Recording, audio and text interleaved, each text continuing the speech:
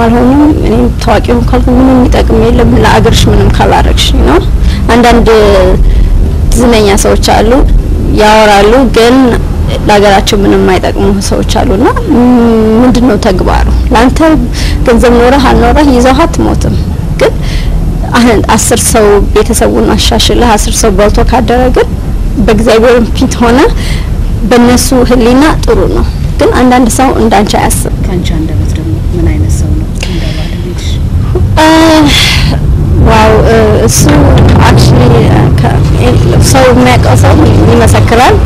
በጣም down to earth በጣም ሰውን ይወዳል። ትንሽም ሆነ ትልቅ ደሃም ሆነ ሀብታም የሚያከብር ሰው ነው። አንቺ የበላሽውን በልቶ የለበሽውን ለብሶ ጭቃም ውስጥ ሆነ ሰማይ ላይ ቁጭ የሚል ሰው መስሎ አክብሮ ከልቡ የውሸት ሳይሆን ደንበኛ ትህትና፣ ትዕግስት ያለው ሰው ነው። ትዕግስት ነው የተማርኩት ከሱ ነው። እኔ ስልችት ይለኛል አንዳንድ ጊዜ ግን ነው ትዕግስትና ትህትናን የለመድኩት ከሱ ነው። እና ሰው ደግሞ በጣም ያከብራል ነው እና እሱ እሱ ጸባዩ በጣም አስደናቂ ነው። እና የማያውቀው ሰው የፈለገው ሊል ይችላል። ግን ሰው አውርቶ አውርቶ አምስት ደቂቃ ከሱ ጋር ሰላም ብሎ እንኳ አቅሞች ሰላም ካለሽ ፍቅር የሚይዝሽ ሰው ነሽ። ለምን የፍቅር ሰው ነው። በጣም ሌላ ሳይሆን አላውቅም። በጓደኝነትም ጓደኛን መጀመሪያ እና ይቀየራል የምለው ነገር ነው። ግን አልተቀየርም። አንድ አይነት ሰው ነው እና ሰውን ያከብራል፣ ሰውን ይወዳል። መዝናናት ወጣ ብለሽ ነበር? ነው አይ አድዋ ሄጄ ነበር። እሱ ለስራ ነው አልሜዳን ለመጎብኘት። ከዚህም በፊት ኮምቦልቻ ጨርቃ ጨርቅ ናቸዋለሁ ለስራ ነው እና ጃማይካ ጃማይካ ጫማ ፋብሪካ ሄጄ ምን እንዳስደሰተ ታውቂያለሽ?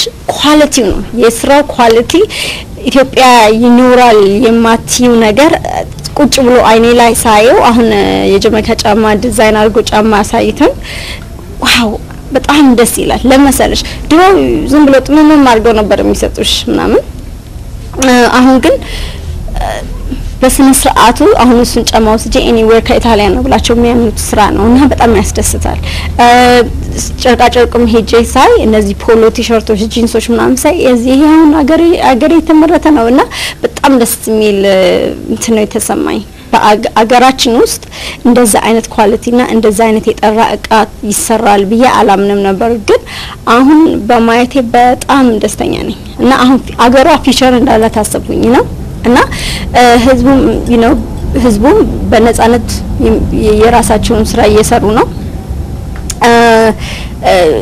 እኔ politics አላቅም ነው ስለ አገሩ ችግር ቁጭ ብዬ ማንም ያማከረኝ የለም ያየሁት ነገር የለም እና ይሄ ነው ልልሽ አልችልም። ግን ያየሁት የእቃ ጥራት አስደስቶኛል።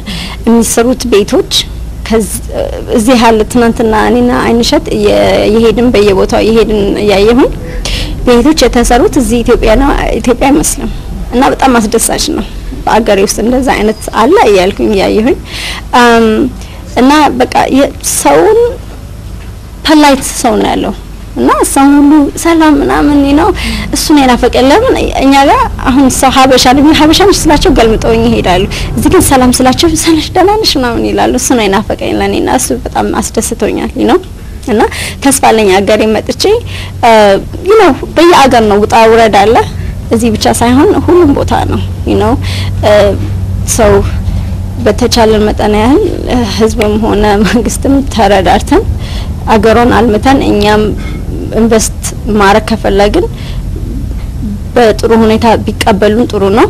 know እኛም በተቻለን መጠን ያህል ማሳደግ አገሩ ሰርተን ህዝብንም ስራ ሰርተን መኖር know ሌላ ምን አለ? መውደድ በአንደበት ብቻ ሲሆን ስሜት ሆኖ ይቀራል። ፍቅርን በተግባር ሲያሳዩ ለወደዱት ፍሬውን እንደመመገብ ይሆናል። በሮዚና ያየነው ይህንኑ ነው። መውደዷን ከዳር ቆማ ማስተጋባቱን ብቻ አልመረጠችም። ድርሻዬን በምችለው ላበርክት ብላለች። ውጥኗ ተሳክቶ ማየት የእኛም ምኞት ነው።